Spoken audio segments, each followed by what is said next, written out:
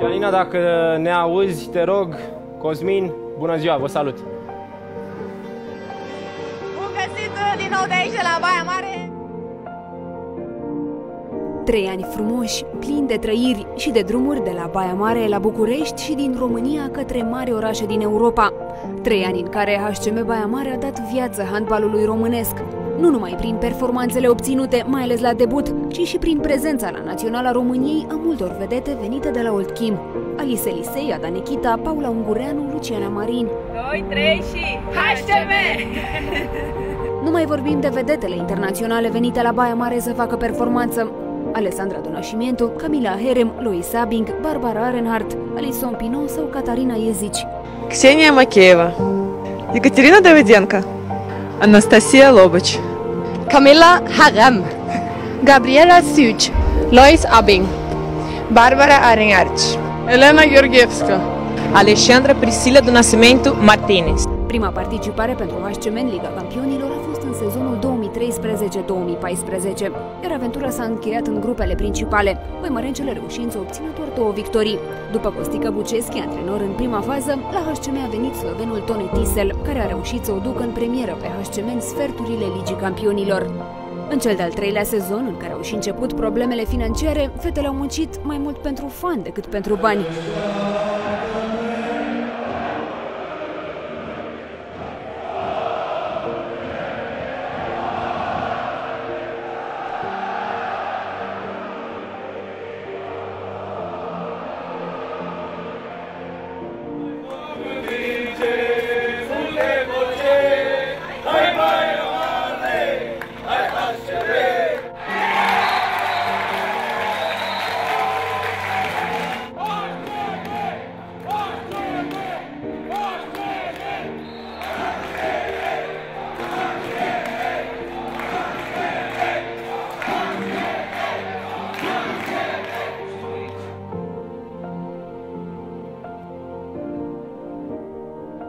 Dar nu trebuie să înțeleagă, e principalul că avem două puncte, nu?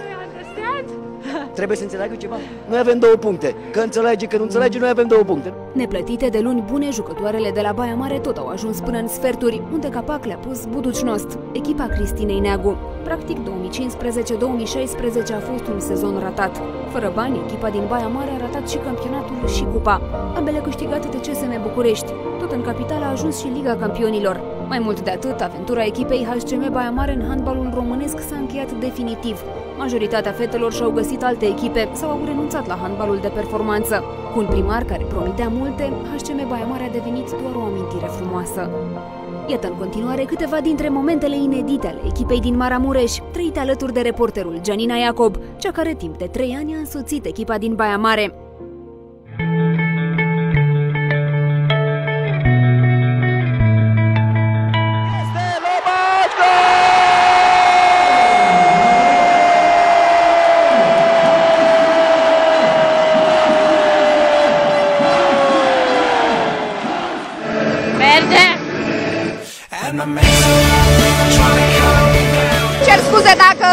Nu mai am machiaj, dar uh, am plâns. Am plâns pentru aceste fete minunate. Vezi că mama e uh, din Oltenia a plâns în fața televizorului când a văzut că uh, nepoata ei a fost decisivă astăzi.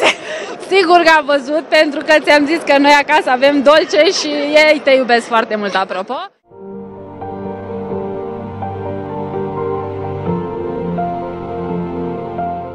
I don't know if you know this, but I, I like you very I like this very much.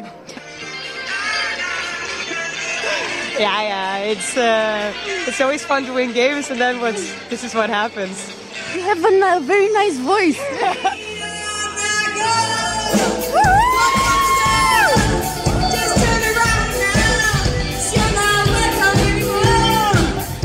Ah, this is yeah, it's not so you can turn it off now.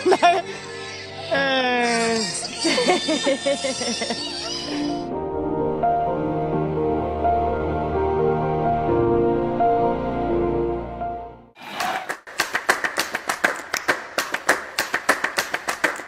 Ai purtat ratat mărțișorul de la mine? Am văzut că te lăudai cu el la cameră. Butterfly. Da, mi-a adus noroc, mulțumesc. Și eu vă mulțumesc, sper ca la toată Următorul meci să ne aduci câte ceva. Ne poartă noroc.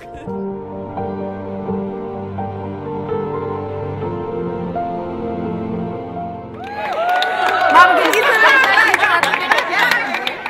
Okay, fast because we have some more surprises.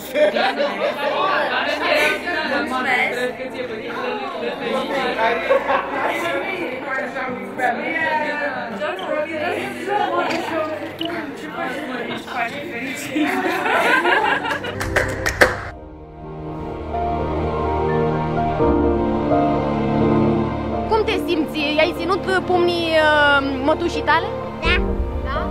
Da, Da? Cum a fost în tribună? Îți place la handbal? da. Știu să joc handbal. Ce-ți place mai mult, handbalul, tenisul? Pentru că știu că practici mai multe. Uh, îmi place handbalul, dar nu mai joc tenis. Am înțeles. De Paula ți-a plăcut astăzi? Da.